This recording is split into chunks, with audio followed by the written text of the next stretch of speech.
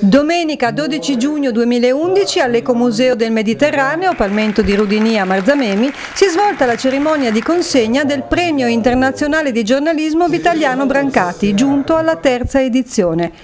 A ricevere il prestigioso riconoscimento sono stati Magdi Cristiano Allam, giornalista ed eurodeputato, lo storico Gianni Oliva, autore di importanti saggi sulla resistenza e sui vinti, Luigi Ronsisvalle, vice segretario della Federazione Nazionale Stampa Italiana e inviato speciale del quotidiano La Sicilia e il nutrizionista Giorgio Calabrese, assente per motivi professionali. Il rapporto con una zona come la provincia di Siracusa per uno a cui piaccia la storia e la cultura è molto semplice, molto facile.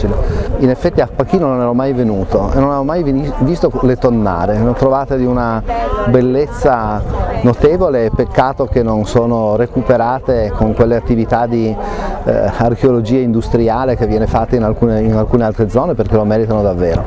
Per cui non posso che essere contento di aver ricevuto il premio e contento di trovare una, un territorio che capisce che la cultura non è una voce di spesa ma una voce di investimento nei bilanci delle pubbliche amministrazioni. La cultura fa stare meglio, c'è poco da fare, fa stare meglio la testa, fa stare meglio lo spirito, fa stare meglio la comunità, insegna a rispettarsi, a conoscersi, a crescere e tra l'altro anche in queste zone credo che ci siano emergenze tali per cui eh, imparare a rispettarsi a confrontarsi nella crescita è opportuno per tutti. Il premio Brancati significa mettere assieme tante cose, soprattutto significa mettere assieme un giornalismo di 30 anni fa che non c'è più e il giornalismo di oggi che è cosa ben diversa da allora. Di Brancati ancora oggi apprezziamo lo spirito, il modo, la curiosità e il volere raccontare se stesso, gli altri, il mondo che viveva. Oggi purtroppo è il mondo che si racconta da solo anche senza i giornalisti e ai giornalisti spetta un altro compito, quello se lo vogliono fare di scavare, di dare elementi perché i cittadini possono capire meglio ciò che succede. Per Magdi Cristiano Allam, giornalista ed eurodeputato, questo premio ha lasciato un ricordo particolare. Il ricordo eh, eh, di una terra che ha a cuore le proprie radici, che è molto sensibile al tema dell'accoglienza e che è consapevole che è necessario eh, eh, definire delle basi che consentano da un lato di salvaguardare ciò che noi siamo, la nostra identità, i nostri valori, la nostra civiltà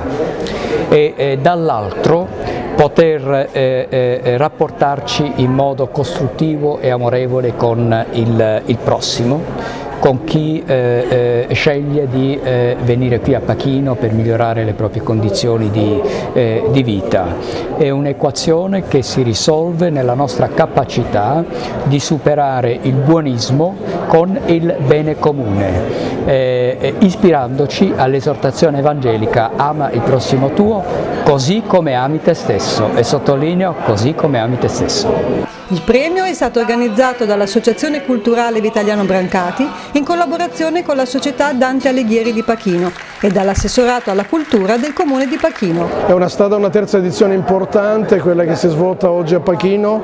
Abbiamo avuto personaggi importanti del mondo della comunicazione. Vitaliano Brancati diventa veramente una grande realtà di cultura per quanto riguarda la provincia di Siracusa e non solo per la Sicilia e non solo per l'Italia. Eh, per un altro motivo oggi avevamo l'ex ambasciatore alla Santa Sede Zeffe Busciati presente con il presidente della provincia di Siracusa Nicola Bono abbiamo concordato di fare un gemellaggio di cultura naturalmente tra la provincia di Siracusa e l'Albania. Eh, questo significa portare Vitaliano Brancati all'estero, significa portare Vitaliano Brancati, la cultura eh, di Vitaliano Brancati oltre i confini nazionali ma soprattutto portare la città, questo territorio, Pachino, la provincia di Siracusa, veramente all'estero e a livello nazionale. Abbiamo bisogno di cultura, questo è il nostro messaggio e grazie a Dio abbiamo dalla nostra parte Vitaliano Brancati.